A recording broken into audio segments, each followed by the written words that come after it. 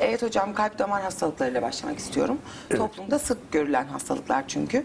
Öncelikle e, nasıl korunuruz? Kalp damar rahatsızlıklarımız varsa nasıl beslenmeliyiz? Evet, nasıl beslenmeliyiz? Şimdi e, klasik olarak bilinen şeyler var işte. Efendim, lifli besinler yemek. Beyaz undan kaçınmak. Efendim, spor yapmak. Alkol, sigara kullanmamak vesaire. Ama bu bilinenlerin haricinde çok önemli bir faktör var. Kalp damar rahatsızlarını tetikleyen homosistein. Bugüne kadar kimsenin söylemediği. Hatta ben 20 yıl önce Almanya'da doktora gittim dedim ki homosistein oranının kanımdaki homosisteinin tespit edilmesini istiyorum. Baktı böyle. Dedi anlamadım. Niye anlamadın dedim. Yok öyle bir şey dedi. Niye yok dedim. Bütün hastalıkları, kalp damar rahatsızlarını homosistein tetikler. Dedi ki hemşire ben mi yanlış anlıyorum yoksa Gökçek mi yanlış söylüyor? Bir bakın dedi homosistein diye bir şey var mı? Doktor, hemşireler baktı, doktor baktı, anlamadık dedi, böyle bir şey yok dediler. Homosistein, yemiş olduğumuz besinlerdeki proteinler amino asitlerden oluşur. Proteinler amino asitlere dönüşür.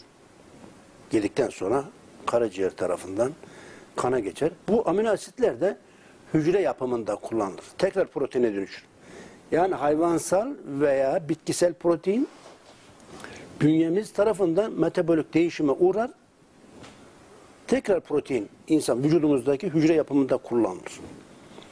Bu dönüşüm sırasında artık madde olarak bir şey çıkar. Buna homostein denir. Artık madde.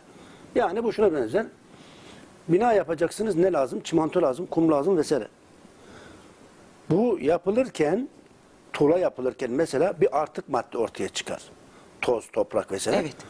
Bunun gibi hücre yapımında kullanılırken proteinler, amino asitlere dönüşen proteinler ortaya çıkan artık madde homosistein. Homosteini B6 vitamini, B12 vitamini, B9, B9 e, folik aside B9 da denir. Bu üç vitamin tekrar homosteini amino aside dönüştürür. Fakat kişinin bağırsaklarında problem varsa B6 vitamini, B12 vitamini, folik asit azalır. Bu üç vitamin azalırsa homosteinin ney faydalı amino asit dönüştürür hiçbir şey. O zaman sürekli homostein oranı artar. Homostein oranı yükselirse ne olur? Homostein LDL kolesterolünü, kötü kolesterolü oksitler. Oksit denen LDL kolesterolünü bağışıklık sistemi mikrop gibi algılar. Kanımızda dolaşan makrofaj var. Ahtapot gibi, binlerce kolu varmış gibi yakaladığı bakteri, virüs ve mantarları yer, yakalamadığına T şeklinde Y şeklinde antikorlar fırlatarak öldürür mikropları. Uzay gemisi gibi kanımızda dolaşır. Ee, 8 nanometre çapında kılcal damarlardan zor geçer. Öyle büyük yani.